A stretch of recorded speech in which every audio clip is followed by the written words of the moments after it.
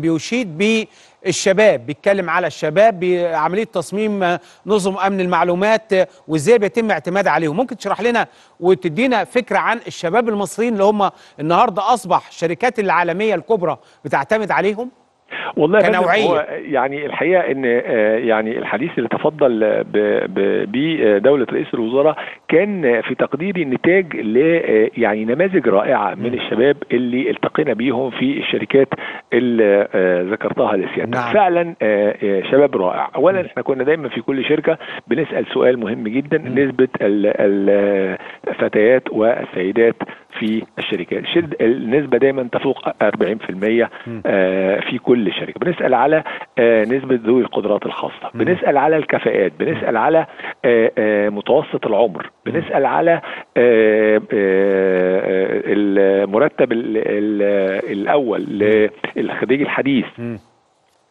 فبنسأل على كل شاب بيصدر بقد إيه. إحنا بنتكلم على إن الشاب الواحد بيصدر في السنة من 25 إلى 100 ألف دولار. مم.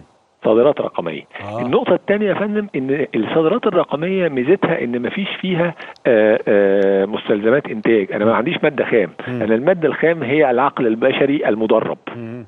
فبالتالي القيمة المضافة في مصر أكثر من 90% عظيم. فأنا لما بصدر ب 100 دولار ما بستوردش مستلزمات إنتاج مثلا ب 50 60 دولار عشان أصدر ب 100 دولار. لا. آه. أنا بستورد آه، كمبيوتر فقط وأعلم الراجل آه. والباقي باقي ال 100 دولار يعني حوالي أكتر من 90 من المية آه، بتبقى آه، مكسب صافي للعملية التصديرية. فده الحقيقة ميزة كبيرة للصادرات الرقمية. قد إيه- حضرتك بتتكلم على الملف الصادرات الرقمية إيه اللي أنجزناه في الملف ده؟ يعني كنا قد إيه والنهاردة بقينا كام ورايحين لفين؟ حاضر يا فندم. إحنا آه كنا آه سنة 2020 آه مليار و800 مليون. إحنا دي- دولار؟ دولار. أيوه. إحنا ال- آه، السنة دي إن شاء الله هنقفل صادرات رقمية 3.2 من عشرة مليار دولار. هايل. من آه مجموع صادرات القطاع 4.9 من عشرة مليار دولار. مم. قطاع الاتصالات وتكنولوجيا المعلومات حقق آه، نسب تصديرية وفقا لما اعلانته وزارة التخطيط في نهاية العام المالي ال- الماضي 2022 23 4.9 من عشرة مليار دولار. إن شاء الله بحلول عام آه، آه، آه، يعني في نهاية عام 2026 إحنا بنستهدف تكون صادراتنا الرقمية 9 مليار دولار.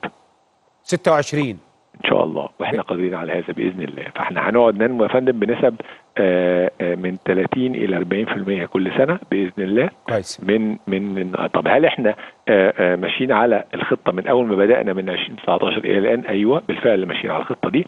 إحنا في عام 2022 آه، وقعنا اتفاقات مع آه، 34 شركة لخلق 35 ألف فرصة عمل في ثلاث سنين.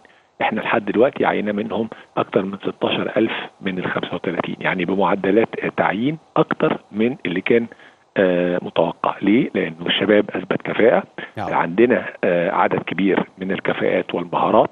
الشاب المصري حين آه، يعني يمنح فرصة نعم. تدريبية في منتهى الالتزام في منتهى الجدية في منتهى الاجتهاد